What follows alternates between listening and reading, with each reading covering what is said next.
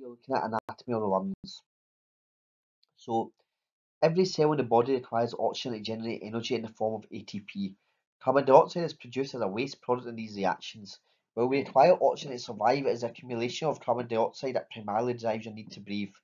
Carbon dioxide is exhaled and oxygen is inhaled through the respiratory system, which includes muscles to move air into and microscopic into and out of the lungs passageways, which air move, and microscopic gas exchange surfaces called by capillaries. The lungs occupy most of the volume of the chest cavity, also known as the thoracic cavity. The thoracic and abdominal cavity are separated by the diaphragm. There are two lungs, each divided into several lobes, two on the left hand side, three on the right hand side. So in the upper respiratory system, we have the nose, nasal cavity, sinuses, pharynx. In the lower respiratory system, we have the larynx, trachea, bronchus, lungs, bronchioles, and respiratory bronchioles and alveoli. So there are two types of zones, the conducting zone and respiratory zone. In the respiratory zone, you have respiratory bronchioles and alveoli. In the conducting zone, you have nose, nasal cavity, paranasal sinuses, pharynx, larynx, trachea, bronchi, and bronchioles. So functional conducting zone uh, involves the route for incoming and outgoing air. This allows to warm and humidify air coming in. It removes debris and pathogens from incoming air and has a sense of smell.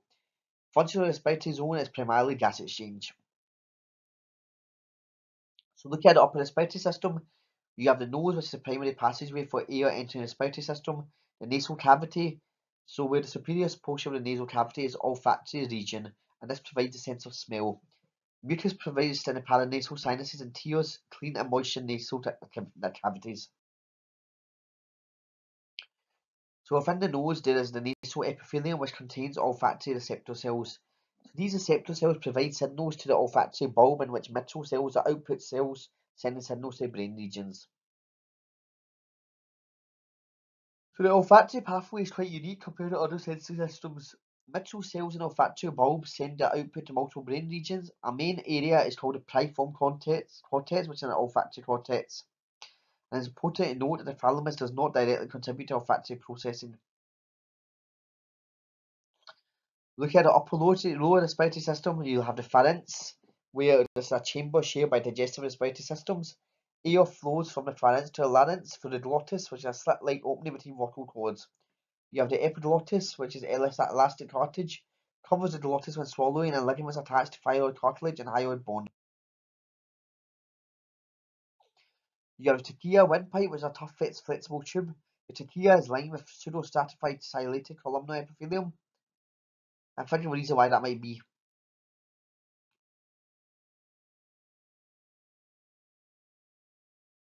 For the lower respiratory system, the trachea branches in the right and left primary bronchi at the carina. Each bronchi divides to form lobar, lobar bronchi that supply lobes of lungs. Lobar bronchi then branch to form segmental bronchi and each segmental bronchi supplies air to one bronchopulmonary segment.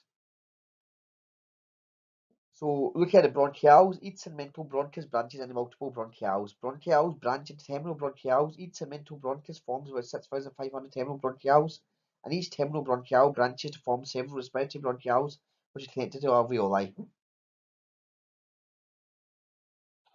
So here you have the anterior view of the lungs which show the bronchial tree and its divisions. So moving on to the respiratory zone, 300 million alveoli are present in adult lungs with a surface area of 70 to 90 meters squared. Alveoli pneumo, pneumocyte type 1 cells or squamous epithelial cells are highly permeable gases and make up 97% of cells in the alveoli. You also have alveolar type 2 pneumocytes which secrete surfactant, and surfactant is an oily secretion that contains phospholipids and proteins and coats the alveolar surface and reduces tension. You also have alveolar macrophages which are immune cells that remove debris and pathogens. Looking at gas exchange, this occurs, occurs across the blood-air barrier of the alveoli and has three layers. Is the fused basement membrane between them, the alveolar cell layer and capillary endothelial layer. So gas exchange across the blood-air barrier is quick and efficient because diffusion for because distance for diffusion is short, and oxygen and carbon dioxide are small and lipid soluble. Air tends to move from a region of high pressure to a region of low pressure. Air flows in and out of the lungs because of alternatively reversing pressure gradients. So let's look at ventilation now. The external intercostal muscles contract during inhalation to increase chest volume. The diaphragm lowers during inhalation. Air flows in during inhalation because the air pressure in the lungs is lower than outside, and air flows out when muscles relax. Changes in interalveolar pressure produce flow of air into and out of the lungs. Interalveolar pressure is less than atmospheric pressure, where air flows into the lungs, and interalveolar pressure is greater than atmospheric pressure, where air flows out of the lungs. In order to understand gas exchange, we need to think about some of the underlying principles that help us to understand the gases and their behaviours. Gas exerts forces on the surfaces it comes in contact with, known as pressure. The atmosphere contains oxygen, carbon dioxide, nitrogen, and other gases, and this mixture exerts pressure known as atmospheric pressure. Each gas within the atmosphere exerts its own pressure, and this will vary between gases and is called partial pressure. Partial pressure is important for predicting the movement of gases. A gas will move from an area of high partial pressure to an area of low partial pressure.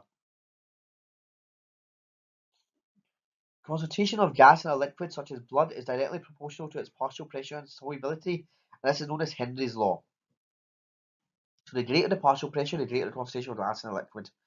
However, this is also dependent on solubility. Nitrogen is present in atmospheric air with a high partial pressure, but its concentration in blood is low due to its low solubility. So carbon dioxide is highly soluble in body fluids, oxygen is somewhat soluble, and nitrogen is very limited solubility. And you can see here the partial pressures in plasma pulmonary veins. So carbon dioxide is 40, oxygen is 100, and nitrogen is 573. Two other factors to consider regarding gas exchange are ventilation and perfusion. Ventilation is defined as the movement of air into the lungs, and perfusion is the flow of blood in pulmonary capillaries. For gas exchange to be efficient, ventilation and perfusion should occur at similar rates. Gas exchange occurs in two sites of the body, in the lungs and the tissues. External respiration is exchange of gases of the external air occurring in the lungs. Blood arriving in pulmonary arteries has low partial oxygen and high partial carbon dioxide. Concentration gradients cause oxygen to enter the blood, carbon dioxide leaves the blood. Rapid exchange allows blood and alveolar air to reach equilibrium.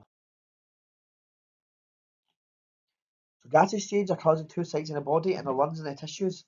Internal respiration occurs in the tissues, where oxygenated blood mixes with deoxygenated blood from conducting pathway passageways. This lowers the partial oxygen of blood entering the systemic circuit to about 95. Interstitial fluid, the partial oxygen is 40 and carbon dioxide is 45. So the concentration gradient in peripheral capillaries is opposite to the lungs, and carbon dioxide diffuses in the blood and oxygen diffuses out of the blood. The diffusion of gases across the blood-brain barrier and the direction and the rate of diffusion are determined by differing partial pressure solubilities. So there are reasons present for efficiency of gas exchange. These are differences in partial pressure across the blood-air barrier are substantial. Distances in, in, involving gas exchange are short. Oxygen and carbon dioxide are lipid soluble. Total surface area is large and blood flow and airflow are coordinated. That's the end of today's video. I hope you had fun listening to this and tune into the next one. Thank you. Bye bye.